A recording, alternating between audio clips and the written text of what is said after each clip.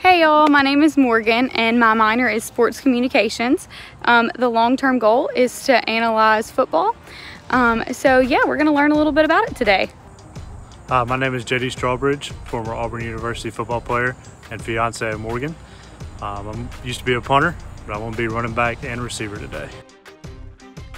Hi, my name is David.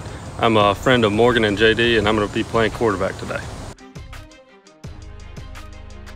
So the purpose of this video is to basically just go over some of the more common um, pass plays and run plays in the game of football um, because how can you analyze sports if you don't know the game? The first play is called ISO. QB hands the ball off to the running back who runs straight up the middle. Next, we're running counter where the running back takes a step towards the quarterback, then cuts back and runs between the guard and the tackle, while the guard from the other side blocks for him. Receiver is out wide on the jet sweep. He runs behind the line to get the ball and cuts up the field on the outside of the tackle. The toss sweep, the running back receives the ball on a pitch and runs around the edge. Post play is where the receiver runs out 10 yards and cuts in at a 45 degree angle.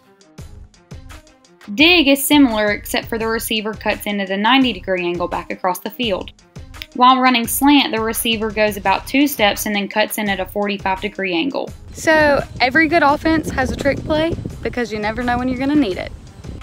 On a double pass trick play, the quarterback pitches it to the running back, who then takes off downfield, assuming the role of receiver, and the running back throws the ball to him. I should have known that if I came out here with these two that it would turn into them goofing off. I could kick for Alabama. Hi, my name is David. I'm a, shit.